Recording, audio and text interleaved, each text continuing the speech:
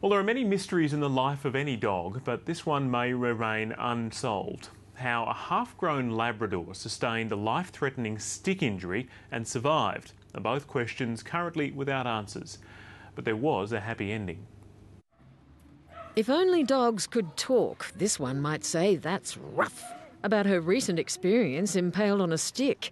She was brought in three weeks ago as a stray with a stick sticking out of her back. We had no idea where the stick was going, what was on the end of the stick, what organs it may or may not have not have gone through. When they had her x-rayed by a vet at Woolloongabba, a picture of a very lucky dog began to emerge. The stick went down the side of the backbone and into the abdominal cavity, but managed to miss every single vital organ that, that's in there. The stick had passed almost right through her body, but it was removed without complication. Although some of it stuck, they called her Twiggy.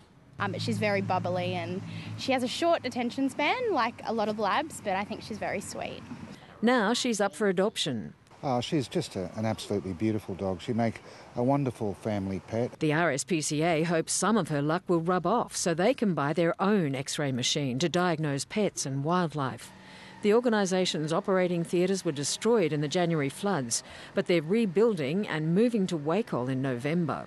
There's a lot of things that we need at the RSPCA, and you definitely have to say that an X-ray machine is. Uh, is one of those that we do need. That would put the wag into everyone's tail. Karen Berkman, ABC News.